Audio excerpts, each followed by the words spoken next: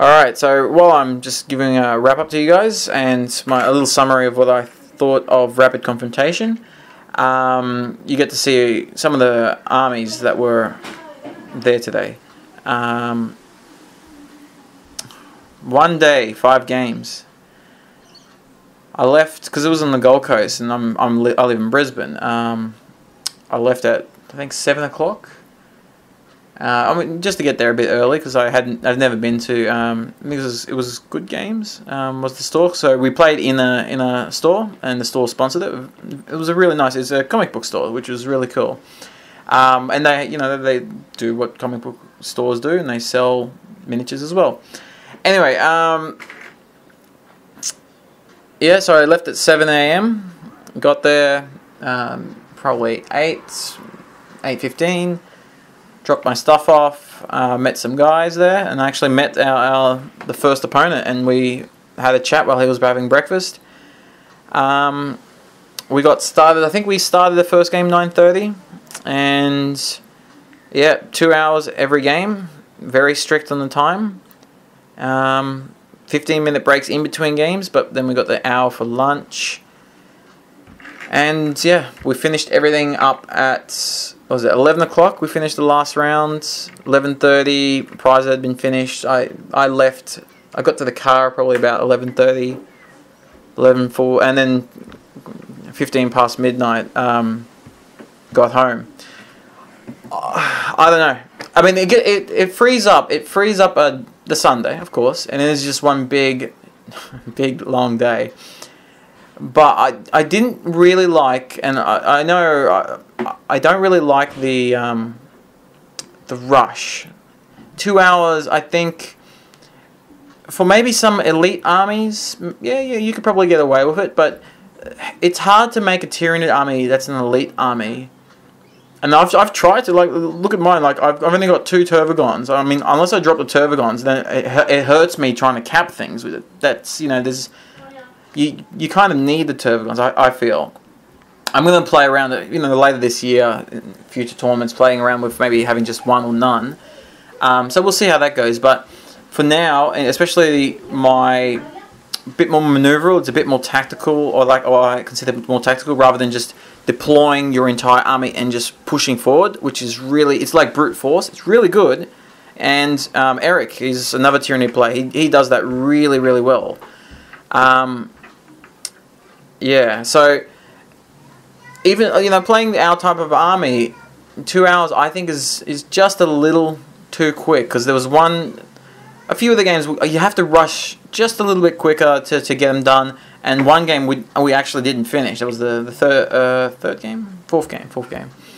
Um, we only got to turn three, and I really would have loved that. So I reckon if we had like probably 20 more minutes, which is like a normal tournament, um, yeah, if we had 20 more minutes, no problem. We, we could have get it uh, got it done, and we could have seen who won. That would have been really fun.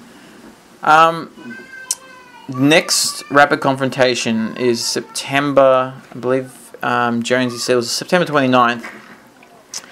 And he's putting it up to 1950 points. Ouch. Um, and But still two hours. And five games. So I don't know if I'm going to do that. That's that's a that's a big one. Um, we'll have to see what my army looks like near getting close to September. If I've got a more elite one that I can bring in, I'll do it. Um, I might actually have my Dark Eldar done though by then, so I might go with the Dark Eldar. But yeah, it, we'll see. We'll see. Anyway, for the people who, all my subscribers and anyone watching, um, the next tournaments, there's two of them um, that I'm going into. So there's a Titans of War. Uh, that's a four-player tournament, so it's like a team battle thing, um, run by the same guy who ran. Um, I think it's Adam. Please tell me it is Adam. Anyway, uh, he's run the um, the first tournament that's up there, the Force Force City. Um, so I'm looking forward to that because my my overall goal is to eventually get to the um, well, hopefully the Queensland team will be at least you know good enough to get to there, you know, and then and practice with people who are in the Queensland team because you know Australia has an an Australian team, you know, and eventually I don't know if we've already done it or not, but we might actually play in the international team circuit thing. And Queensland has won a few of the Australian tournaments, so you know the states versus states. So uh, that's where I'm looking to get to. If I get there or not, uh, it's all good. But that's where I'm looking to get to, and I, I think this um, Titans of War is a good practice because those are all team-based things. So I haven't ever done that. I'm gonna I'm looking forward to it, and I think that the very next one is actually the Anzac Cup. So this is a um, 1950 point. So the Titans of War was 1850. This is a 1950 point um, 40k game uh, for the K tournament. Uh, five games, I believe it's five games, two days, and this one is, um, I think it's actually set up and run by either army people or uh, army officers or army members or army like ex like once they've finished. Um, I'll, I'll have to talk to them. Um, some of them were at the Gauntlet, and I, I, I had a quick chat with them there. Um, but it looks really cool. Like I, I think it, all the proceeds go to Legacy, which is like you know for um, the defense uh, to support the people. You know if they've um, died overseas serving um, Australia, then their families get looked after by Legacy. I believe that's what Legacy is.